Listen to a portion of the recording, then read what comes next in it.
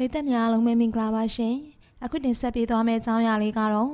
သမီးလေးရဲ့မျက်နှာကိုမြင်ရတဲ့အချိန်မှာကိုယ့်အသက်ထပ်ပိုးပြီးတော့အလဲထက်လုပ်ရမယ်ဆိုလေလှုပ်ပေးခြင်းတဲ့စိတ်တွေရင်ထဲမှာပေါ်လာတယ်လို့ရင်ဖွင့်လာခဲ့တယ်အဆိုတော်သားကန်းရဲ့အကြောင်းကိုတင်ဆက်ပေးသွားမှာဖြစ်ပါတယ်ပရိသတ်ကြီးရှင်အဆိုတော်သားကန်းကတော့အိမ်မက်ဆောင်ရတခြင်းဆိုပြိုင်ပွဲကနေတဆင်ပရိသတ်တွေရဲ့ရှင်ထဲကိုရောက်ရှိလာတဲ့အဆိုတော်ကောင်းတစ်ယောက်ဖြစ်ပါတယ် တန်ချချိုလေးနဲ့တချင်းအေးလေးတွေကိုတီဆိုတတ်တဲ့သားကန်ဟာအခုချိန်ထိလည်းပြည်သက်တွေရဲ့ရှင်ထဲမှာနေရာယူထားဆဲပဲဖြစ်ပါတယ်။သားကန်ဟာမော်ရဲတရုပ်ဆောင်ဘေဘီမောင်နဲ့ပူးစာဆုံခဲ့ပြီးနောက်မှာတော့တာယာအေးချမ်းတဲ့အိမ်အောင်တဲ့ဘဝကိုပိုင်ဆိုင်ခဲ့တာလည်းဖြစ်ပါတယ်။ပြီးခဲ့တဲ့အော်ဂိုလာ24ရက်နေ့လေးမှာတော့သားကန်နဲ့ဘေဘီမောင်တို့ရဲ့တမီဦးလေးကိုမွေးဖွားတန်းဆင်နိုင်ခဲ့တာပဲဖြစ်ပါတယ်။ရိုးရိုးအေးအေးသာနေတတ်တဲ့ဆိုတော့သားကန်ဟာ တမီလေးနဲ့ပတ်သက်လာရင်တော့ရှင်ထဲမှာခန်းစားချက်တွေအများကြီးရှိတဲ့အကြောင်းအခုလိုပြောပြလာခဲ့တာဖြစ်ပါတယ်။သားကန်းက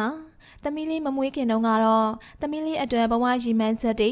တမီလေးကိုလှုပ်ပေးခြင်းနဲ့ပညာရေးတွေအားလုံးကိုလင်မယားနှစ်ယောက်တိုင်ပင်ထားကြပါမယ်။တကယ်တမ်းတမီလေးကိုမွေးပြီးတမီလေးမျက်နှာကိုမြင်လိုက်ရတဲ့အချိန်မှာတော့ သမီးလေးကိုကိုယ့်အသက်ထက်ပိုပြီးအလဲထက်လုပ်ရမယ်ဆိုရင်လည်းလုပ်ပေးခြင်းတဲ့စိတ်တွေတဖွာဖွာပေါ်လာခဲ့တဲ့ဆိုကဖခင်တယောက်ရဲ့မေတ္တာတရားကိုဖော်ပြပြောကြားလာခဲ့တာဖြစ်ပါတယ်။တို့ဟိုဟာဟိုဇနီးမောင်နှံတဲ့နောက်ကအများအားတိုင်းပဲဖြစ်တယ်။ညအိတ်လို့ရှိရင်ပိုက်လေးကိုပို့ပြီးဟိုဟိုဟာကိုသမီးလေးမွေးလာလို့ရှိရင်ဘယ်နေရာအလေးမှာထားမယ်ဘယ်လိုလေးသူ့ပညာသင်ပေးမယ်ဘယ်လိုနေထားရအောင်ဒီပတ်မိုးမယ်ဆိုတဲ့စိတ်တွေရှိတယ်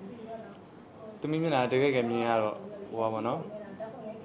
ရင်ထဲမှာဟိုကိုယ်အသက်ထက်ပို့ပြီးတော့အဲ့လိုဟိုအလဲထလောက်ရမယ်ဆိုလဲဟိုလှုပ်ချင်တဲ့စိတ်တွေအဲ့လိုဖြစ်မိတယ်ဟုတ်